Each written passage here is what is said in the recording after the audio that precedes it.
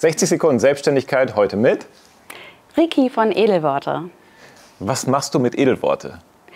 Ich bin Sängerin und inzwischen auch freie Traurednerin. Ich komme so ganz klassisch von der Musik, habe ursprünglich mal Musik studiert, mich dann selbstständig gemacht, irgendwann immer mehr auf Hochzeiten konzentriert und jetzt seit einigen Jahren bin ich auch als freie Rednerin unterwegs. Das heißt, ich richte die komplette freie Trauzeremonie mit Rede und Musik für Brautpaare in Hamburg und Umgebung aus. Mega cool. Aber fangen wir mal vorne an. Also du hast Musik studiert mhm. und dann hast du dich gleich danach dann damit, damit selbstständig gemacht? Äh, ja, tatsächlich schon. Ich habe tatsächlich nach dem Abi direkt in Osnabrück Musik studiert.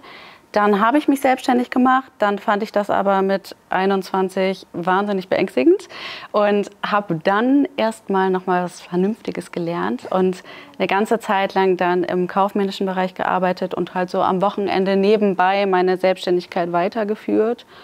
Und vor sechs Jahren habe ich dann nochmal den kompletten Absprung geschafft und habe dann den Dayjob aufgegeben und seitdem bin ich nur noch als Freelancerin unterwegs. Gab es da einen konkreten Anlass dazu, dass du dich dann nochmal wirklich 100% selbstständig gemacht hast oder wie ist es dazu gekommen? Äh, ja, tatsächlich schon. Das ähm, hört sich, wenn ich das so erzähle, an immer so ein bisschen nach so diesem klassischen äh, Deutschland sucht den Superstar Erklärclip an. Ich hatte das halt immer im Kopf und glaube auch, es wäre immer dazu gekommen. Und letztlich war es bei mir aber dann so ein klassischer Schicksalsschlag. Ich habe ähm, ganz plötzlich ähm, meinen Vater verloren und das hat mich total wachgerüttelt. Also da habe ich gemerkt, welche Dinge ich nicht im Griff habe und bei denen ich mir vielleicht auch durch diese vermeintliche Sicherheit eines festen Jobs vorgemacht habe, viel im Griff zu haben. Und in der Erkenntnis habe ich dann irgendwie ganz viele Sprünge in meinem Leben gewagt und unter anderem aus dem Job raus und in ein deutlich glücklicheres, sehr freies Leben sehr, also es tut mir sehr leid, das zu hören, ähm, aber sehr krass, wie reflektiert du dann da rangegangen bist, um dann deine Schlüsse daraus zu ziehen. Und der Schritt in die Selbstständigkeit war dann wirklich getrieben durch den Wunsch der Freiheit und Selbstverwirklichung? Ja, genau. Ich hatte da tatsächlich gerade dann auch einen neuen Job angenommen und ähm, habe dann in der Probezeit wieder gekündigt, weil ich gemerkt habe, dass ich mich damit nur weiter verrannt habe. Also dass ich irgendwie nach einer neuen Inspiration innerhalb dieses beruflichen Korsetts gesucht habe, die eigentlich woanders zu finden war. Und dann ähm, war es am Ende eine ziemliche Kurzschlussreaktion, über die ich aber sehr dankbar bin. Dann hast du quasi in, in der Probezeit gekündigt und mhm.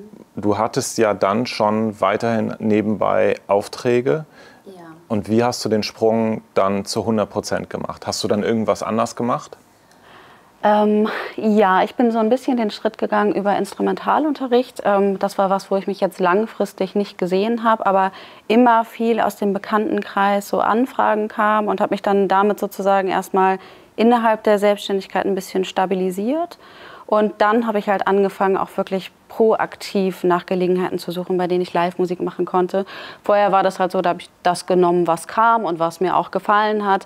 Musste auch überhaupt nicht darauf achten, was sind das für Gagen, sondern konnte wirklich total danach gehen, was mich jetzt kreativ reizt. Und da habe ich dann erstmal relativ inflationär angefangen, möglichst viel auf die Bühne zu bringen, um dann irgendwann wieder so ein bisschen auszusortieren. Aber erstmal äh, bin ich auf Masse gegangen und habe versucht, meinen Terminkalender zu füllen. Okay, und wie hast du dann von da aus dann weitergemacht? Ähm, du meinst ganz konkret, wie ich so Kunden gefunden habe? Oder? Ja, oder auch dann dein Business weiterentwickelt hast? Ach so, dann ähm, habe ich tatsächlich auch noch mal ein kleines ähm, ja, Musikstudium oder sagen wir eine kleine musikalische Ausbildung gemacht hier an der Hamburg School of Music. Da habe ich dann gewechselt. Ich habe am Anfang war immer Klavier mein Hauptfach und Gesang das Nebenfach und dann habe ich noch mal eine zweijährige Ausbildung als Sängerin gemacht und die auch bewusst so ein bisschen ähm, mit dem Hintergrund, dass ich wusste, dass das so ein Kontaktstudiengang hier in Hamburg ist. Also da habe ich zwar auch viel Input bekommen, aber vor allem ganz viel genetzwerkt, ganz viele Leute kennengelernt, die mir da auch schon Jobs verschafft haben und Kontakte knüpfen können. Dann auch teilweise in die Theaterszene, um da dann so ein bisschen Fuß zu fassen und ähm, dann einfach versucht, immer weiter darauf aufzubauen. Okay. Und also das heißt, du hast dieses Studium eigentlich gemacht, um Netzwerk aufzubauen für Kunden und einfach noch andere Musikerinnen und Musikern. Super interessant, habe ich noch nie gehört. Das aber mhm. macht super viel, macht super viel Sinn. Ja. Ähm, und dann kam irgendwann ähm, die, Trau, die Trauung dazu. Genau, also eigentlich waren Hochzeiten auch davor immer schon so ein Teil meines Lebens. Ähm, ich habe tatsächlich auf meiner ersten Hochzeit, glaube ich, mit 13, 14 Orgel gespielt, so in dem ostfriesischen Dorf, in dem ich aufgewachsen bin habe auch immer mal wieder auf Hochzeiten gesungen, aber damals war das halt so ein Puzzleteil von sehr vielen. Da habe ich mindestens genauso viel in Hotelbars oder auf Schützenfesten gesungen wie halt auf Hochzeiten. Und irgendwann hat sich das immer weiter verlagert. Und dann war es auch so, dass ich gerade im Studium gemerkt habe, gerade in so Konzertsituationen, dass ich auch echt gerne spreche und dass ich auch gerade bei Konzerten eigentlich die Situation, wenn ich so über meine Songs rede und erzähle, warum ich die geschrieben habe, mindestens genauso glücklich und inspiriert bin, wie wenn ich den Song am Ende performe. Dann kamen so die ersten Moderationsjobs, dann kamen die ersten freien Trauungen und dann habe ich gemerkt, wie ich da als ähm, Hochzeitssängerin hinterm Klavier saß und gedacht habe, das will ich auch. Vielleicht kann ich das sogar besser. Das würde ich anders machen. Und ähm, irgendwann nicht mehr umhin kam zu sagen, okay, ich will jetzt auch meine Reden schreiben und äh, traue mir das zu und starte jetzt mit dem Komplettpaket. Okay, und ist das was, was du jetzt auch vermehrt gerne weitermachen möchtest? Oder wie, wie, wie, wie sieht es im Moment aus? Ja, total. Also gerade so die letzten Jahre hat sich das schon herauskristallisiert. Es gab jetzt immer noch so, ein, äh, so, eine Balance zwischen dem Sommer, in dem ich dann als Hochzeitsrednerin und Sängerin zu nahezu 95 Prozent gearbeitet habe. Und im Winter war ich jetzt in den letzten Jahren, gerade auch in der Corona-Zeit, ähm, auf Kreuzfahrtschiffen nur als Musikerin. Aber das habe ich jetzt langsam, glaube ich, auch schon so ein bisschen durchgespielt. Und jetzt inzwischen ähm, bin ich auch im siebten Monat schwanger. Und ähm, das heißt, deswegen kehre ich auch so diesen Teil mit den vielen Reisen den Rücken zu und ähm, werde, glaube ich, die nächsten Jahre den Fokus sehr stark auf die Hochzeiten legen. Okay. Ähm, es, wenn du so sprichst, hört es sich sehr stark danach an, dass du dir immer auf eine Art und Weise treu bleibst aber auch immer einen konkreten Weg irgendwie weitergehst. Kannst du mal beschreiben, was so der innere, also wie du den Weg ganz konkret gegangen bist? Also wie hast du, wie bist du von dem einen zum anderen gekommen? Wann hast du entschieden, ich möchte eigentlich das mehr machen als das andere? Ähm, also ganz grundsätzlich ähm, würde ich sagen, dass da gar nicht so viel Strategie dahinter ist und dass das etwas ist, was ich an dieser freiberuflichen Selbstständigkeit auch so liebe. Also da habe ich so ein bisschen diesen Pippi Langstrumpf-Gedanken, dass ich die Welt äh, für mich so mache, wie, die, wie, die, wie sie mir gefällt, weil ich das als total inspirierend empfinde, wenn ich selber in einem Prozess merke, dass es einen Fokus gibt, der mir in dem Moment mehr Spaß macht, mir dann auch die Freiheit zu gönnen und zu sagen, hey, ich bin Künstlerin, vielleicht spreche ich im Moment mehr, vielleicht schreibe ich gerade mehr, vielleicht rückt jetzt mein Jazzklavierspiel wieder mehr in den Vordergrund. Da werden jetzt einige lachen, wenn sie das Video sehen, denn das ist noch nicht passiert. Ähm, und ich versuche mir bewusst diesen Luxus zu gönnen, genau diese Leichtigkeit zu behalten. Und das wiederum würde ich tatsächlich auch wieder, um den Kreis zu schließen, mit diesem Schicksalsschlag in Verbindung bringen, weil für mich wirklich im Vordergrund steht, einfach so ein möglichst inspirierendes, farbenfrohes Leben zu haben und immer wieder neu zu justieren und zu hinterfragen, macht mir das immer noch Spaß, genauso wie ich das mache, oder ist es mal wieder Zeit für so einen kleinen Richtungswechsel? Und hast du dabei manchmal Angst, dass du was aufgibst und es dann verlierst? Weil ich kenne das ganz viel, wenn ich mit anderen spreche, so, oh, wenn ich das jetzt mache, vielleicht verliere ich da dann den Anschluss und ähm, verzettele mich oder komme dann, dann nicht mehr so richtig zurecht. Oder habe auch das Netzwerk, das neue Netzwerk entsprechend noch nicht. Ich bleib, mhm. bleib dem treu, was ich bisher gemacht habe. Mhm. Nee, ich glaube tatsächlich nicht. Ähm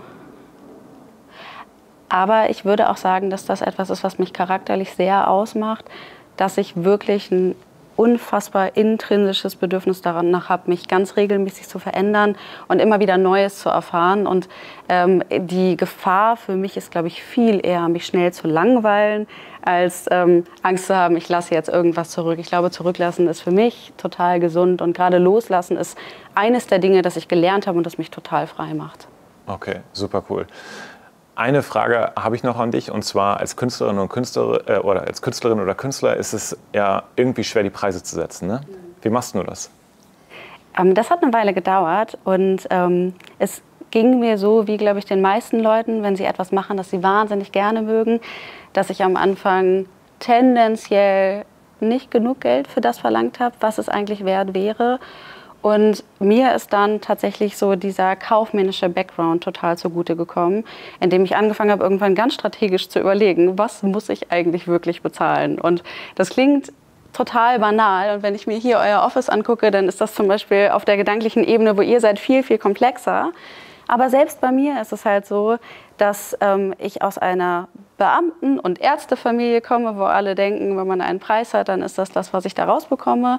Und ich selber erstmal lernen musste, welche Kosten dahinter stehen, dass ich Umsatzsteuer abführen muss, dass ich selber Sozialversicherung zahle, dass dann noch die Einkommensteuer kommt, dass ich meine ganzen Betriebsausgaben habe, dass man, wenn man freiberuflich und selbstständig ist und keinerlei passives Einkommen hat, tatsächlich in jede Arbeitsstunde einkalkulieren muss, jeder Mensch ist ein, zwei Wochen im Jahr krank. Jeder Mensch möchte vielleicht sechs Wochen im Jahr Urlaub machen.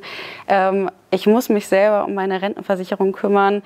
Ähm, es bringt mir nichts, auf große Trinkgelder zu spekulieren, wenn ich dann eines Tages so eine Murmel mit mir rumschleppe und ähm, dann aber dieses Geld auf dem Papier brauche und gerne Mutterschutz und Elterngeld ähm, bekommen möchte.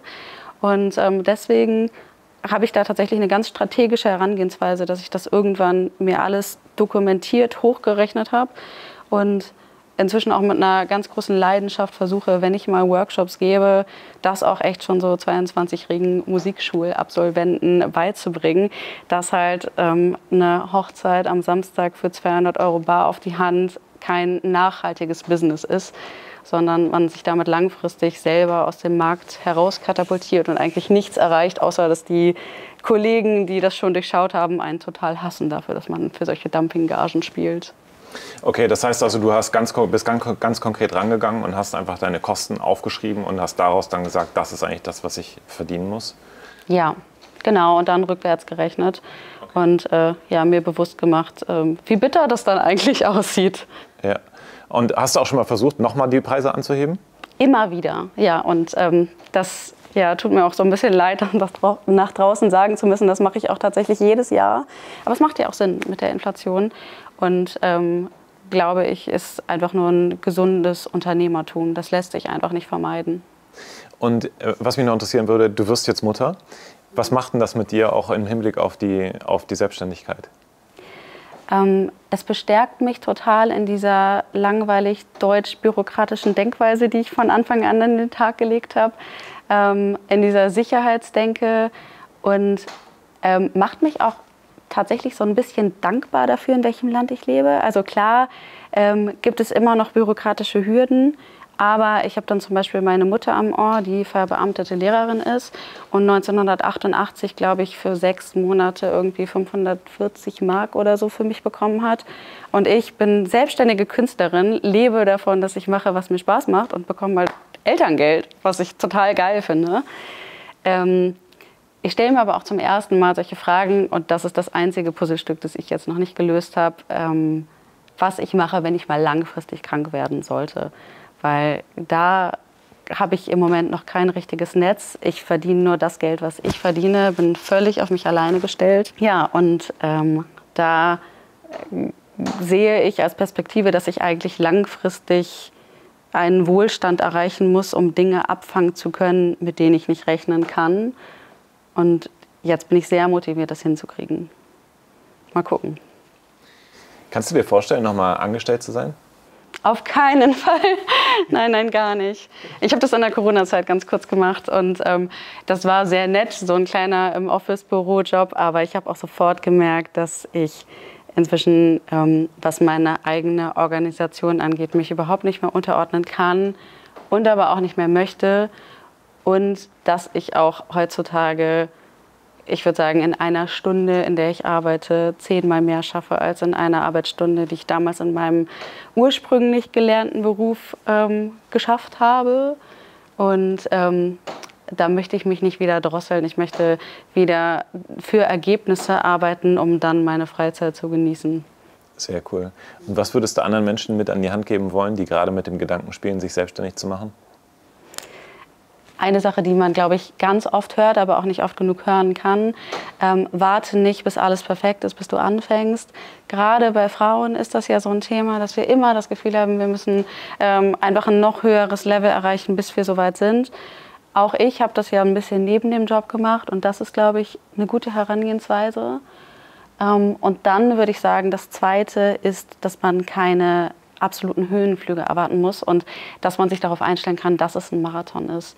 Ich glaube, der wesentliche Unterschied, ob das am Ende funktioniert, ist Durchhaltevermögen. Und ich habe jetzt noch so Situationen, dass ich manchmal E-Mails bekomme von Leuten, die mir schreiben, dass sie mich vor zehn Jahren auf irgendeinem Schützenfest singen hören haben, seitdem bei Instagram dabei sind oder Facebook damals noch und ähm, jetzt heiraten und halt wollen, dass ich ihre Traurede halte. Und wenn ich dann daran denke, wie ich auf diesem Schützenfest gesungen habe, so, dann frage ich mich echt, was bei denen kaputt ist. Aber es war halt gut, dass ich da schon angefangen habe. Eindruck hinterlassen. Ja, genau. So wie auch immer. Ähm, das war auf jeden Fall die richtige Entscheidung. Und ähm, deswegen dranbleiben und vertrauen, dass alles, was man irgendwann mal sieht, dann auch irgendwann geerntet werden kann. Cool. Herzlichen Dank und alles Gute weiterhin. Dankeschön.